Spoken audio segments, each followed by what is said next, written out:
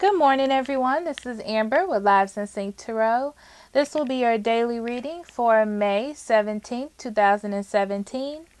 Um, this is the normal setup for the reading. However, you had a special card fall out while I was taking, while I was placing the cards on the table. So we'll get to that at the end. I feel like that's something that you need at the end of the reading. So you start off with the Hierophant Disruption, which is the Tower, Major Arcana. And then there's a chakra card that is the heart chakra that comes out.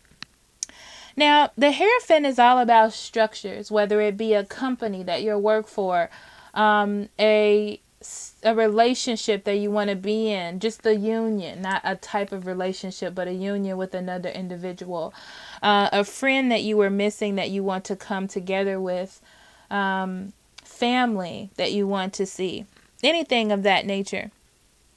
Um, there will be a disruption in these structures in your life, meaning that things need to be knocked down in order to be rebuilt in a, a sturdy type of way, a stronger way to make a more solid foundation for you. And the heart chakra reminds you to leave your heart open and willing to accept compassion, harmony, and, and give unconditional love um, to heal these old relationships or these wounds that may be open. So, this is an opportunity for you to do that. This is an opportunity for that to happen. Maybe someone, I'm hearing that maybe someone will contact you from the past and just to remain open.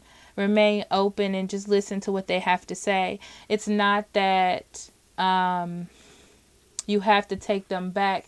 It's just about healing and forgiveness with this heart chakra card. And I feel like this disruption is really going to uh, put you in a sad state or, or thinking that things won't work out within this structure that you uh, wanted or, or developed for yourself.